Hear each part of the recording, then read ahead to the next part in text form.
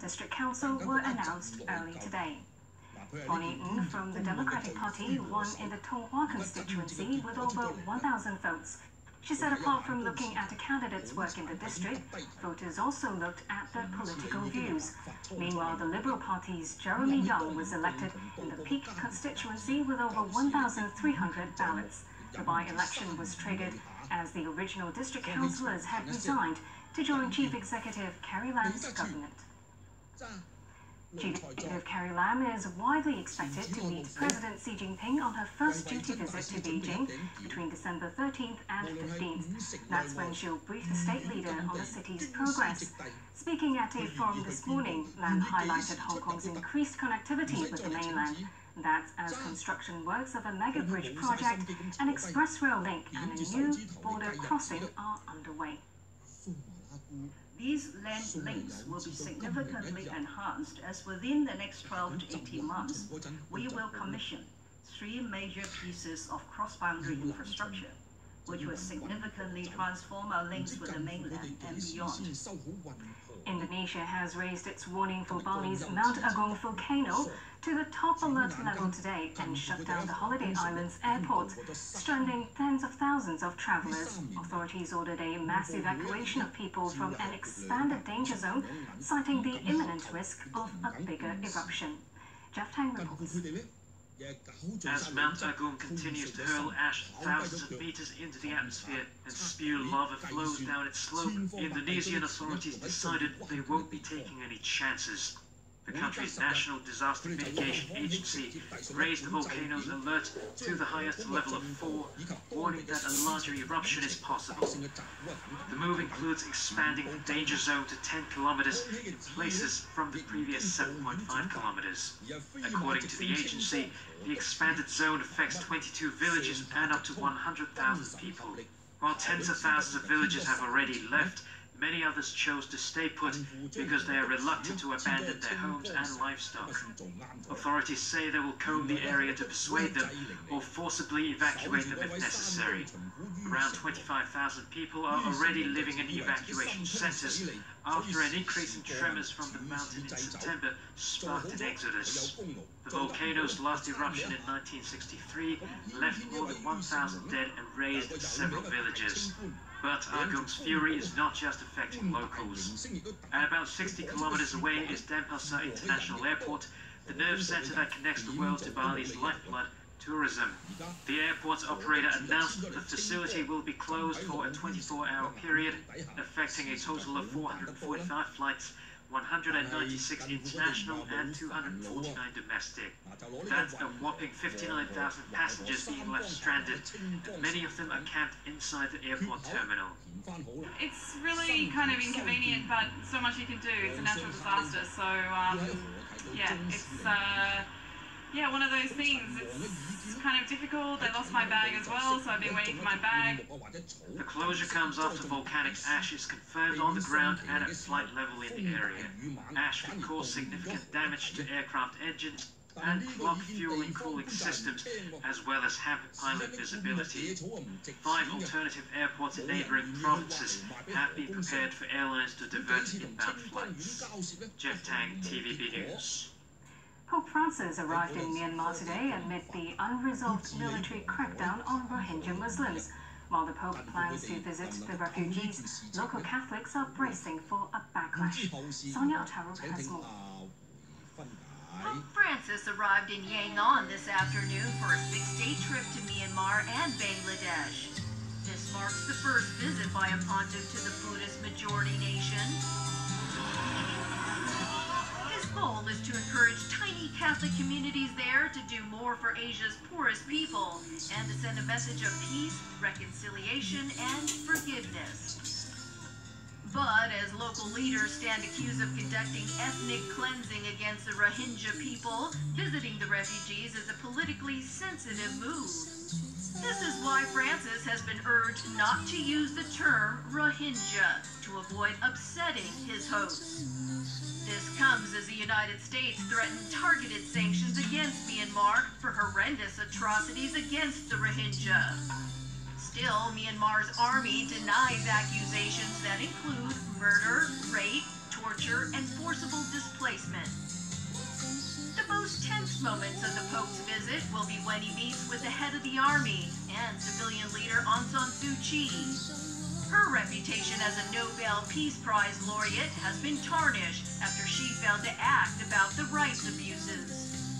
Only 1% of Myanmar's 51 million population are Roman Catholic. Even though they fear a backlash from the military, thousands travel by trains and buses to catch a glimpse of the Pope. Expected to meet a group of Rohingya refugees in Dhaka, the capital of Bangladesh, on the second leg of his trip. That's where the president of Bangladesh was visiting the victims when he expressed optimism. Abdul Hamid said with more international pressure, it's just a matter of time before their situation improves. More than 600,000 Rohingya fled to Bangladesh after the military crackdown began in August. Just last week, Myanmar signed a deal for their safe repatriation. Under the deal, Myanmar will take measures to see they won't be placed in temporary camps for too long, and they'll be issued an identity card. But refugees say they'll gladly return on one condition. They want Myanmar to recognize them as legal citizens. Sonia Artero, TVB News. The designated workers for designated skills provision is enforced. Register according to 你以为招标就有得拣？我哋一早搞好晒，你边有得拣咧？我哋赚到尽。冇人同我哋争。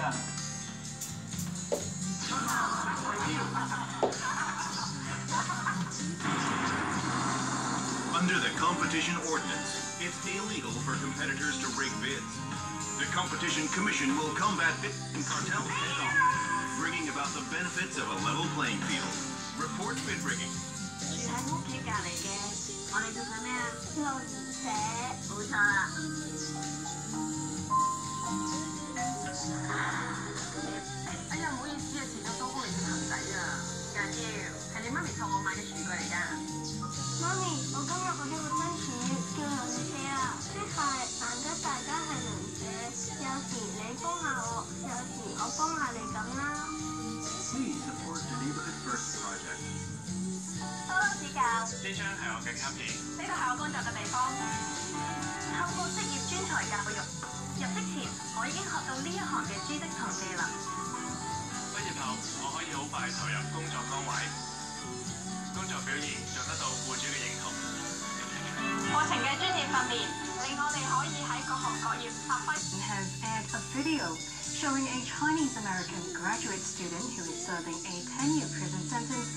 for allegedly infiltrating the country while doing doctoral research.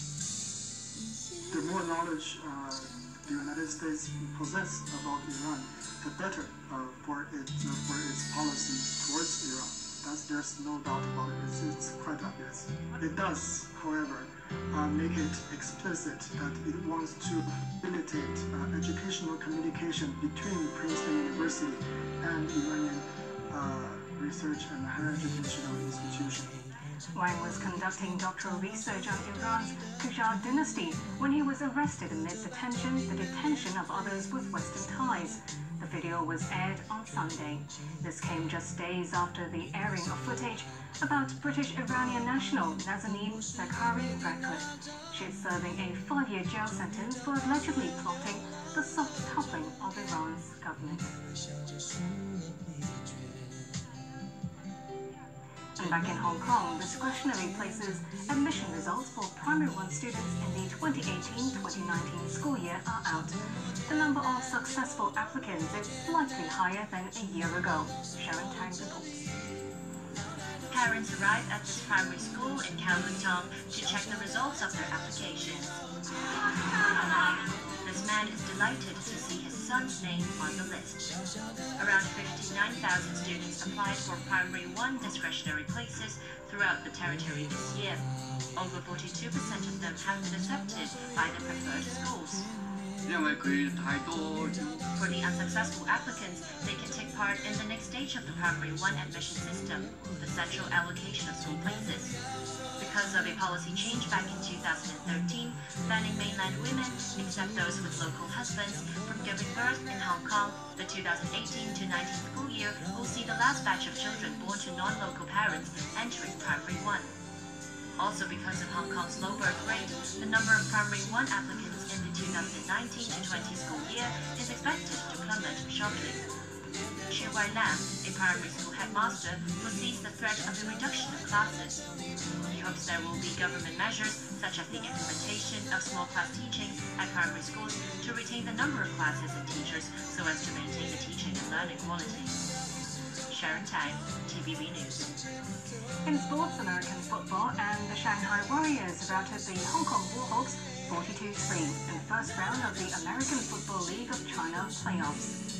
The Warhawks, champions of the South Division, were 4 and 0 into yesterday's game at Happy Valley.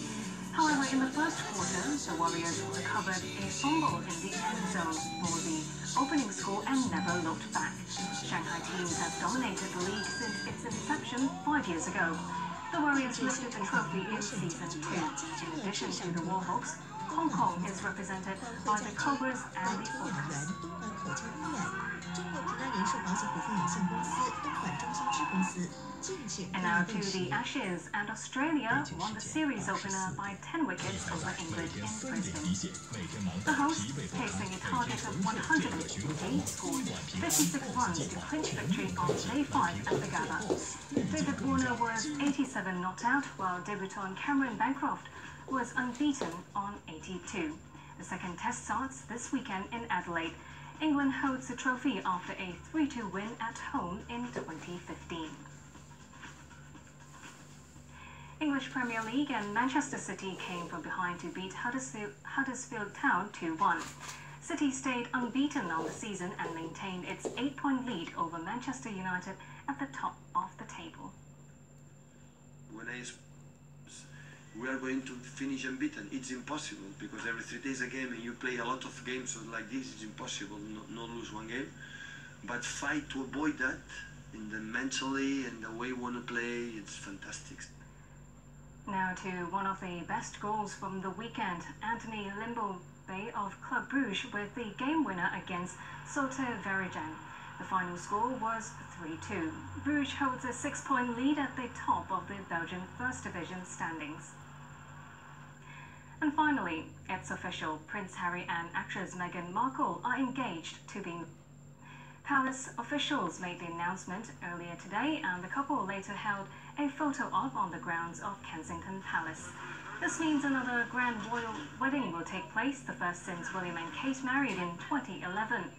Markle is a mixed-race American raised in California. She's an outspoken full-time actress and a divorcee. The 36-year-old met Harry through friends just last year, and they've been dating since. Now, a check of the weather before we go. Bright periods during day with a high temperature of about 24 degrees. And that's the news. Thanks for watching. Good night.